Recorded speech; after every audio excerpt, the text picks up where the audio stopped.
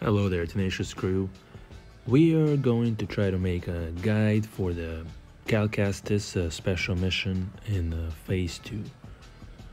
Uh, first, I think um, what was important to me, at least, uh, was to kind of go over uh, uh, Jedi Cal's kit.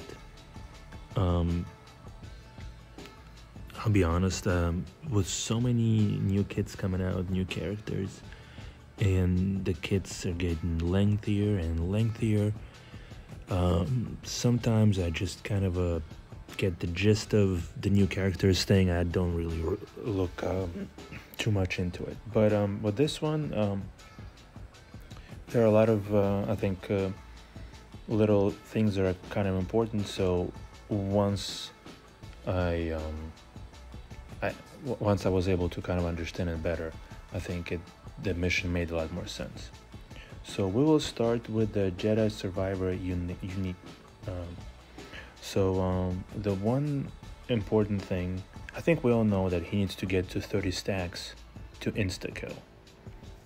But how does he get to those 30 stacks of Impetuous? Well, first, when he gains a configuration, he gains 5 stacks meaning even if he stays in the same configuration, he still will gain 5 stacks. Uh, but we want to get to the new configuration as, as soon as possible. So let's look at um, the rest of the mechanic. The basic, you know, he always uses the basic first, which is dispels the buffs, and then he will use one of those three abilities. At first, only two are avail- available: the the slam and the defense. So with the slam, let's look what it does. Um, it will inflict armor shred, um, can potentially daze, and stun.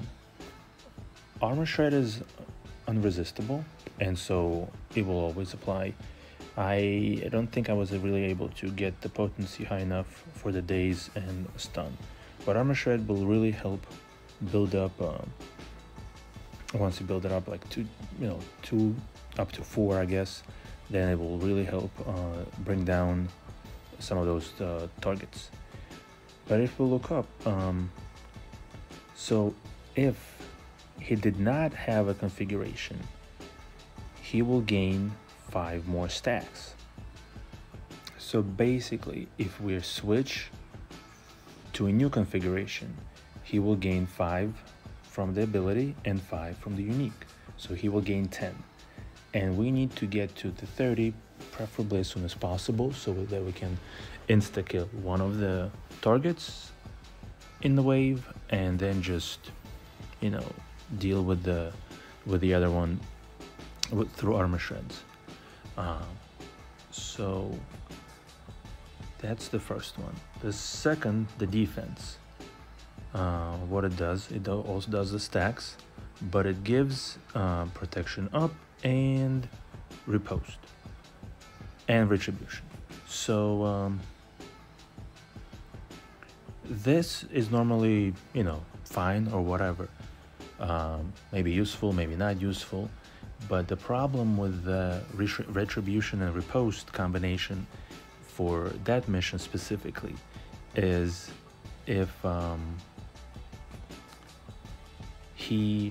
counters and um, the IPD is taunting or even IPD attacks uh, Jedi Cal, he will take the counter since the riposte hits under protection.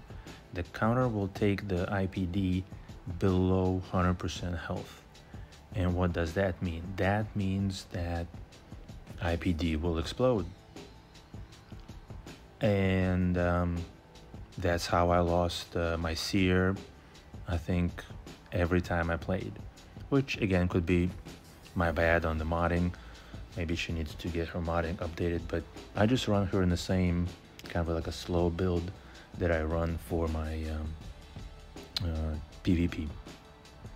So anyway, this one, so due to this uh, interaction, we kind of want ideally for him not to stay in this configuration for too long. And once you insta kill the first uh, character, you probably don't even need to switch to it. You can just uh, spam armor shreds on uh, the remaining target uh, to avoid the IPD from exploding. Anyway, and uh, the last uh, ability, Assault, well that's the one with the insta-kill, as we can see the first time it's used, instantly def defeat the enemy. Um, again, I'm not sure if uh, I was able to, uh, you know, inflict other uh, uh, debuffs, but it has some other, you know, abilities that effects that it does.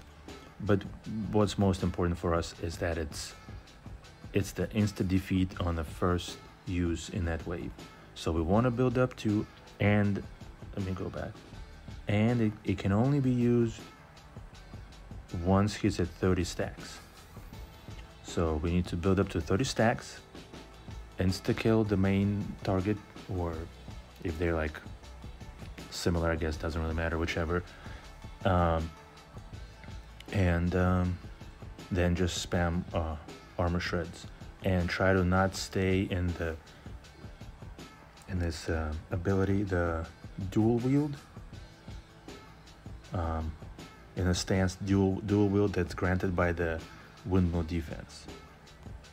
So um, I think basically that's uh, what's important as far as his uh, mechanics. And now let's hop into mission itself and let's look at the modding first. Um, Cere, we have, um,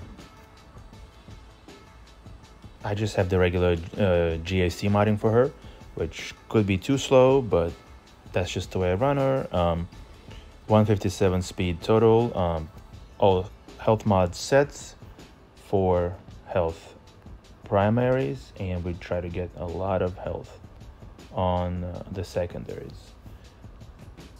She does die usually, but I think I've been misplaying up until this point because I haven't really thought through um, the IPD interaction. So let's hope that with the new understanding of the kit, we can do it better. And Jedi Cal, we have a good amount of speed, 310. Also, uh, all health mod sets. Speed on the arrow, we have three health primaries, and we're trying to get you know a decent amount of protection, um, protection again, some offense if possible, health again. Just kind of a, I think the best way to uh, go about it is just try to survive with Cal. Um, and let's hop in the battle. So again, our goal is to get to 30 stacks as efficient as possible. So here we start with the basic. Uh, let's let's go with uh, this one first. So we, we went with the defense ability first because we are hoping to switch to the um, to the first stance. Okay, and now let's target the other and we go back to the one with the riposte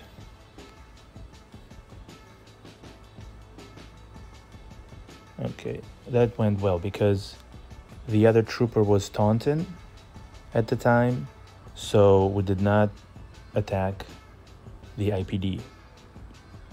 So IPD did not get uh, brought down below um, 100% health. Let's see, uh, probably let's just uh, heal ourselves up. Okay. And I think now what we'll do is we will just basically spawn spam, I mean, um, armor shred on the remaining trooper. So we're not gonna change stances Oh, I guess we do need to change stances to apply more armor shred. Um, but let's go to the third stance. We will try to avoid the one with the riposte. Although, okay. Although our cal got a little low here. All right, so again, we're at zero stacks. So we start with, um, we'll target the Purge Trooper and we will do the riposte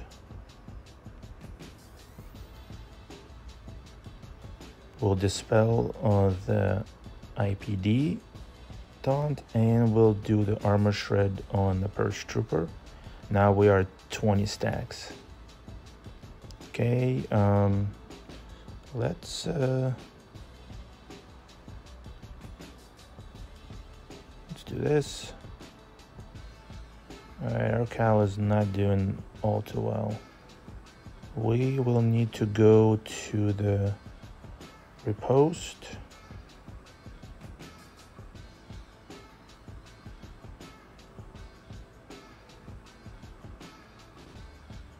But I think now we might have got IPD below the 100% health. Yeah, so IPD is going to explode, but we did survive.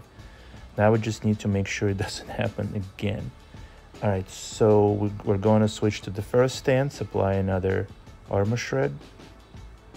Um, let's do basic and uh, let's see, what does this do? Uh, they do heal up, but let's not do that just because we cannot afford uh, the riposte again to uh,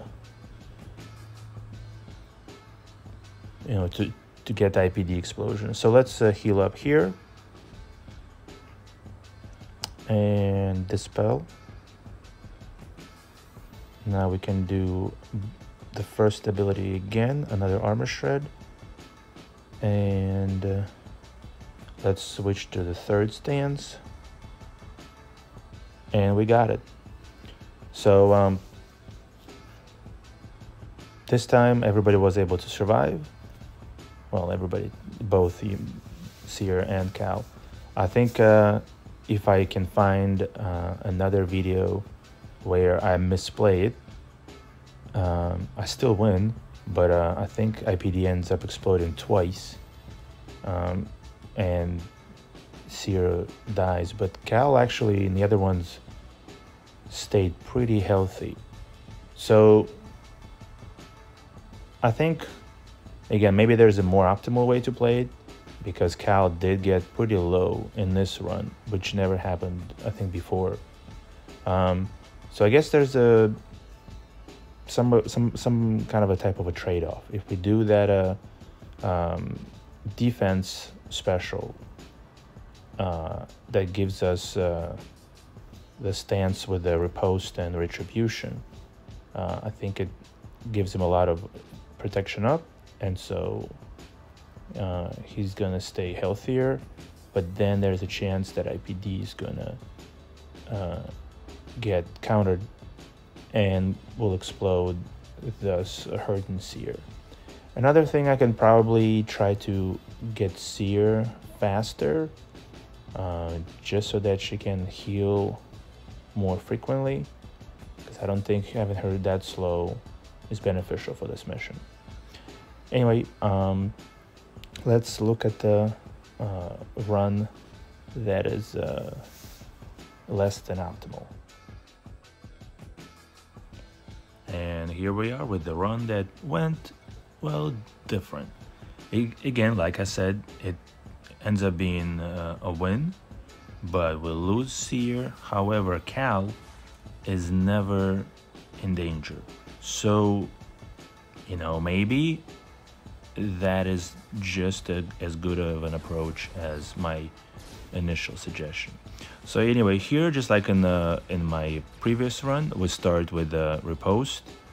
Uh, because we will we kind of we know that we will be able to dispel first of all dispel uh, IPD and we'll switch to the armor shred first stance before IPD can attack us and we counter um, so we continue alternating um, between the first stance and the second. So here we got, uh,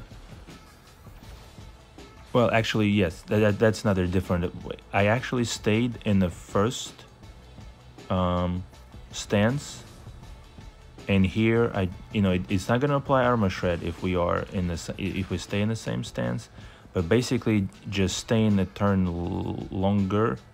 It, it will take us a, a, one extra turn to get to the annihilate.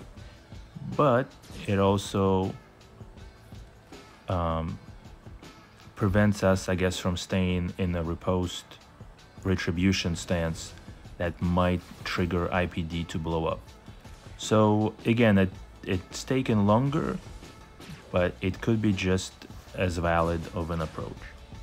Um, and now we're just trying to stack armor shreds and we alternate here between um, the assault, the third special, and yeah, here that's uh, probably another mistake. I, I mean, it's good that uh, IPD had um, the special coming up and I didn't uh, smack uh, Cal but here uh, uh I think that's when I'm gonna be, be able to use the assault special and we nuke even though it's not the annihilate but there's enough damage to take out the remaining uh, trooper here we start uh, with um, I think we start with the riposte again mm -hmm. so we're 10 stacks with dispel IPD and we get the armor shred on the trooper and now we will be at 20 stacks. And I believe this is where I play it differently as instead of switching to the riposte again, I just stay in the armor shred, uh, well, in the first stance uh, that gives armor shred if you switch, but it, it doesn't give armor shred for us in this case because we're staying the same one.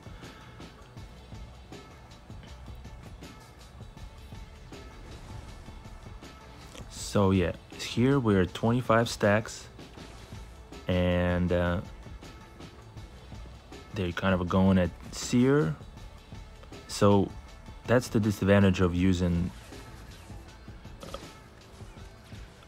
that approach, which I guess it wasn't really approach because now I'm back in the riposte stance, which was definitely a mistake. Um, but and I'm just the, at the 30 stacks now. So I guess if we want to go with the approach of avoiding riposte retribution, then we should have just stayed in the first stance to begin with. Because we were 25, we would have gotten an extra one, and we would, would have been able to nuke uh, second sister without uh, the fear of a droid exploding. But even then, um, here Cal is very healthy. We lose Cere, but I don't think he's at, at you know in any danger of uh, dying. Even though he uh, uh, takes IPD below the threshold and IPD is going to explode at us, but he has so much protection up and um, we still win. So two different ways to play it. I think modding is really important because I didn't play it correctly in, in this situation and I still was able to win. So hope those videos, this video helps and good luck.